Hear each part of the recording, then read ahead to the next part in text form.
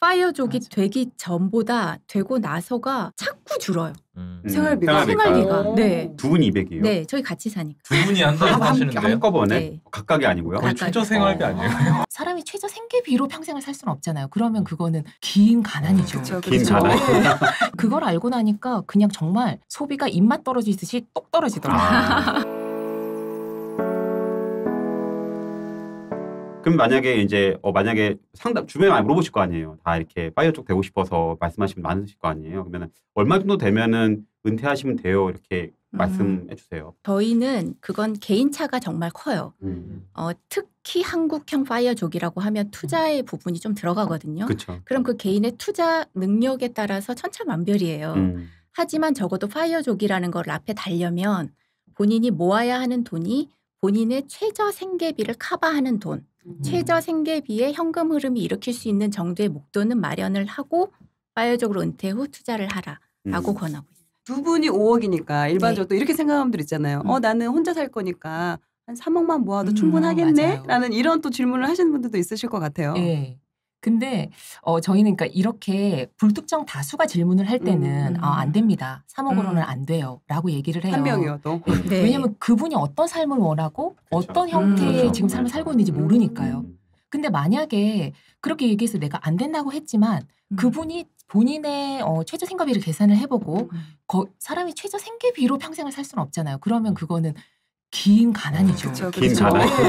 긴 가난이 제가 제일 싫어하는 거예요. 차이다 차이다. 예, 저희 너무 좋아. 어. 통장에 돈은 있는데 그러니까. 학원에 뭘못 사. 어, 그러니까. 쓸 수가 없어. 어. 저희한테 묻는 분이 계세요. 파이어족이 극단적인 절약을 해서 파이어족이 됐는데 음. 그 이후도 극단적으로 살아야 된다면 절약을 음. 하면서 살아야 된다면 왜 파이어족이 돼야 되는가? 음. 돈을 더 벌지. 맞아요. 어 근데 그게 아니라 내 최저 생계비보다 플러스 알파가 나는 3억 이하다. 음. 그래서 한다면 그 사람은 맞는 거겠죠. 음. 근데 그게 아니라면 그러니까 본인을 알아야 돼요. 음. 파이어족의 가장 중요한 거는 나의 그 쓰는 소비 형태를 알아야죠. 그럼 지금은 이제 파이어족으로 지금 생활을 하고 계시는데 지금 두 분께서 생활할 때 그 한 달 생활비는 어느 정도 드나요? 아 생활비가 저희도 간혹 깜짝깜짝 놀랄 때가 있어요.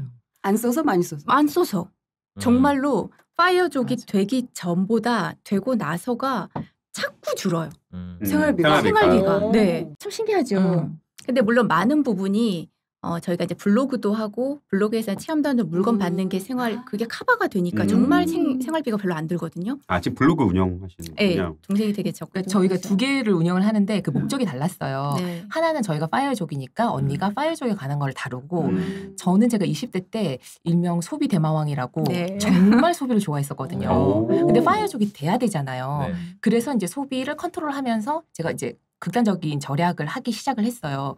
그리고 나서 파이어족이 되니까 시간이 많잖아요. 음. 그러니까 다시 이제 막 지름신이 강림을 어, 하죠. 그래서 내가 어디선가 들은 얘기가 어 블로그를 하면 물건을 받는다던데 음. 그래서 한번 아 그럼 얘는 물건을 한번 받아볼까 해서 음. 운영을 하고 하나는 언니가 파이어족으로 운영을 하고 있죠. 현재는 저희가 살고 있는 집은 대출이 껴 있어요. 네. 그래서 거, 그 대출 이자로 나가는 게 가장 크고 그리고는 뭐 건보료나 부모님 용돈 이 정도가 크고 생활비는 그렇게 많이 들진 않아. 다 합해서 한 200 좀 넘는 것 같아요. 아, 아, 두 분이 대출 한 달에 이자? 사시는데요? 네. 두분 200이에요? 네, 저희 같이 사니까. 두 분이 한 달에 한, 한, 사시는데요? 한꺼번에? 네. 각각이 아니고요? 거의 각각. 최저 생활비 어. 아니에요? 아니 근데 어. 생각해 보니까 차가 없어서 더 그런 것 맞아. 같아요. 아. 차 부분이 굉장히 크거든요. 50에서 맞아요. 100 정도는 네, 될 맞아요, 거예요. 맞아요. 과태료 이런까지 생각하면 맞아요. 그 부분이 없으니까 가능한데 만약 차가 있으면 한 300 가까이 쓰지 않을까. 아. 또, 또 파이어족을 달성하기 전에 한 4년 정도 정말 절약을 아주 강하게 네. 오랫동안 하셨는데 그때 좀 힘드신 건 없으셨어요? 그때 혹시 뭐 포기 이것 절약을 위해서 포기했던 거나? 아, 아까 사실은 원래 소비 네, 대망이었잖아요. 맞아요, 맞아요. 음. 그러니까 저희가 절약을 하려고 포기했던 게 집, 차, 취미, 그러니까 비싼 취미, 해외 여행 이렇게 네 개를 음. 포기를 했었거든요. 근데 제가 얘기를 했던 것처럼 저는 그 뭔가를 사고 이런 거를 굉장히 좋아하는데 음. 파일족이 되고자 했던 게 하던 일이 싫어서의 이유가 가장 컸어요. 아. 그래서 아 내가 생각을 했죠. 내가 만약에 지금 이거 하나를 사면 뭐 새 핸드폰 하나를 사면은 이 핸드폰만큼 내 은퇴가 미뤄지는 거예요. 음. 그렇죠. 그죠 그 가격만큼. 오. 그래서 내가 감정 노동을 계속 당할 것이냐 이 핸드폰 때문에 음. 그걸 알고 나니까 그냥 정말 소비가 입맛 떨어지듯이 똑 떨어지더라고요. 아. 어, 정말. 아, 그러니까 예를 들어 핸드폰 100만 원이라 하면은 네. 100만 원치 일을 더 해야 되니까. 그쵸. 그러니까 사실은 일하, 그 핸드폰에 없는 것도 불편하지만 네. 더 일하는 거 더 불편하니까. 네, 맞아요. 그러니까 사실은 그렇게 줄이면서 내가 예를 들어 뭐, 뭐, 하, 뭐 욕심이 생겨서 해외여행 가야지. 또 그만큼 또 일을 더 해야 되니까 네. 그게 싫어서 이제 근데 하신 거군요. 현실적으로 생각을 해보면 100만 원이라고 하면 100만 원을 벌기 위해서 100만 원만 필요한 게 아니거든요. 그렇죠. 출퇴근한 차비, 맞아요. 식비, 그쵸, 화장품 음. 그러면 되게 커요. 맞아요. 생각보다 네, 그 유지비가 생각보다. 크죠. 맞아요. 그게 저희가 파이어족이 되고 나서 생활비가 왜 주나 봤더니 교통비 뭐 이런 거 화장품비 음. 음. 뭐뭐 헤어비 음. 거의 안 드는 거예요 꾸민비가. 음. 저도 요즘 재택근무를 하고 있어가지고 아 네. 옷 살 일이 없고 맞아요. 화장을 할 일이 없더라고요. 그냥 바라보는 일을 시간 맞아요. 활용도 좋지 않나요? 출퇴근 시간이 없으니까. 그렇죠, 그렇죠. 시간 활용하기도 너무 좋아서 네. 확실히 그런 꾸민비가 확 음. 줄어들기는 하더라고요. 예. 네. 그러니까 제가 파이어족이 되고 나서 그거를 알았어요. 그러니까 음. 그 전에는 몰랐는데 아 내가 샀던 것들 중에 많은 부분이 남한테 보이기 위해서 샀구나. 음. 내가 좋아서가 아니라. 음. 근데 말씀하셨던 것처럼 어디 갈 일이 없으면 음. 안 사요. 저희가 투자를 두 개로 봐요. 음. 자산 투자와 콘텐츠 투자라고 해서 음. 자산 투자는 돈을 불리거나 지키기 위한 투자고 콘텐츠 투자는 나의 어떤 가치를 personal branding을 높이면서 내가 노후에 은퇴 없는 쭉 하고 싶은 일을 쭉 할 수 있는 일을 개발하는 일이거든요. 근데 이 personal branding이라는 이 그 콘텐츠 투자는 시간을 많이 들여야 돼요. 기본적으로 음. 1년 이상 해야 나라는 사람이 온라인에 있다는 걸 그냥 알게 되는 음, 거잖아요. 그쵸. 네. 그래서 심심할 틈이 별로 없어요. 음. 그 사이사이에 특히 투자에 관련된 기본적으로 봐야 할 것들이 있잖아요. 그쵸, 그런 것도 그쵸. 같이 보면서 보면 지금 만드시는 콘텐츠가 아까 말씀하신 블로그랑 네. 유튜브 하시잖아요. 대퐈마 TV. 음. 저도 잘 봤는데 어, 너무 재밌더라고요, 사실은. 음. 근데 이제 너무가 가식적이네요. 아니 아니요. 아 진짜 아니, 사실은 이거 제가 섭외도 제가 저희 작가분한테 역으로 아. 보통은 저희가 맞아요. 출판사에서 와요. 음. 근데 이제 저희가 역으로 한 거거든요. 근데 너무 재밌게 잘 봐가지고 청취자분들한테 얘기를 들려드리고 싶더라고요. 음. 저도 너무 재밌어가지고. 음. 그리고 지금은 콘텐츠는 아니지만 이제 책을 쓰고 있고 아 맞죠, 맞죠. 네. 음. 그렇죠. 그럼 어떻게 보면 또 현재 자리에 이르기까지 파이어족으로서 되게 어떻게 보면 성공을 하신 건데 그런 성공 요인을 찾자면 어떤 게 있으실까요? 저희 경우를 보니까요 하고 있던 일이 너무 스트레스가 강했던.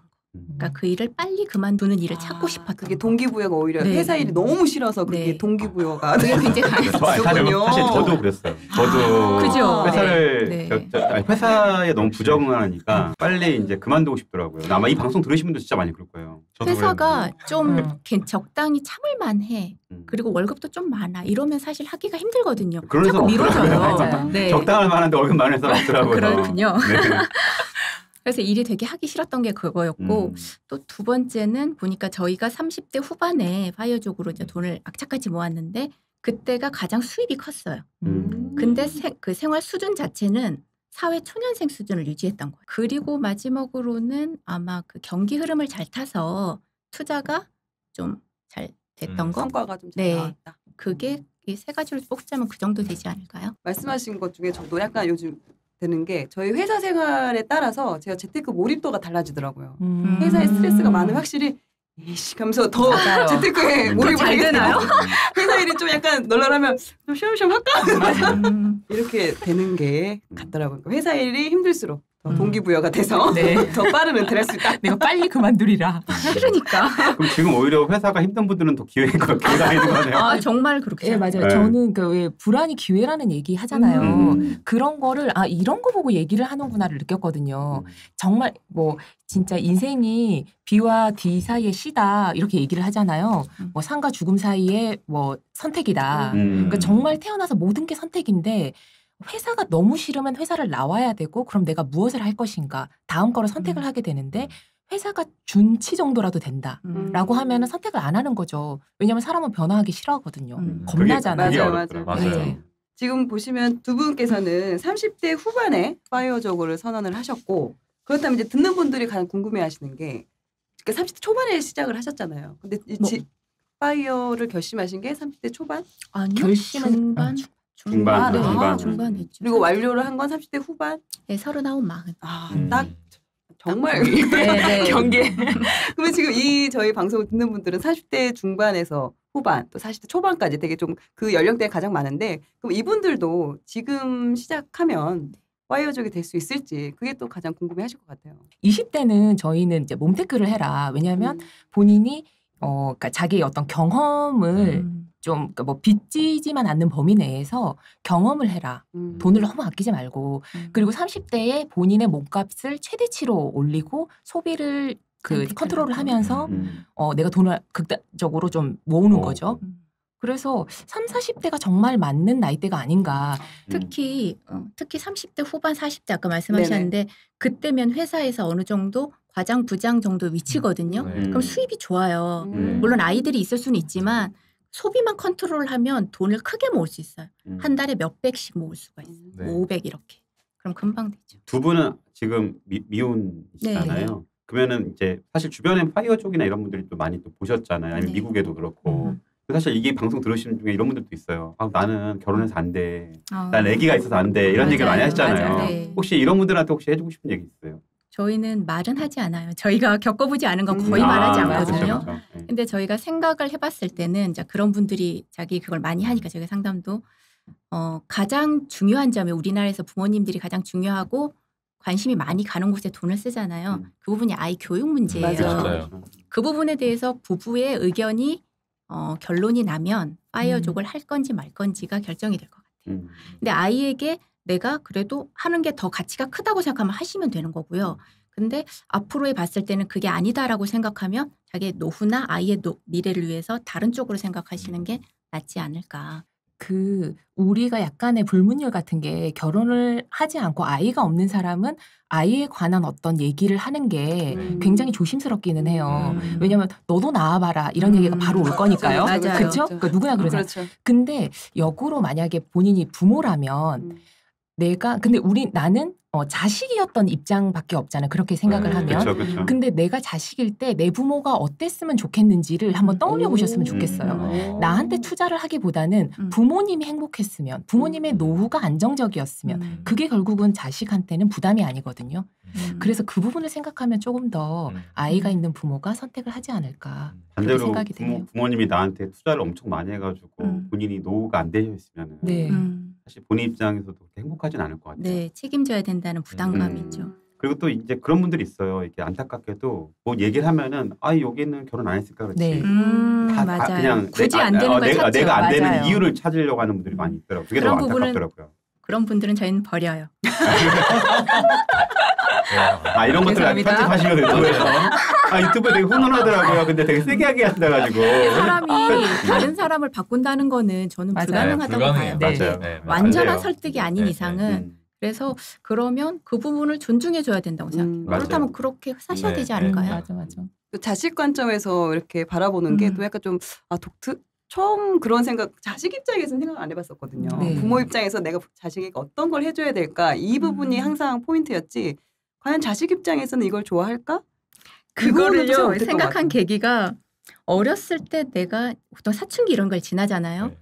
부모한테 가장 짜증을 냈던 이유가 뭘까를 생각을 해보니까 엄마는 아무것도 모르면서 아무것도 어. 모르잖아. 뭐 이런 얘기를 대부분 많이 많이 했더라고요. 많이 네. 하죠.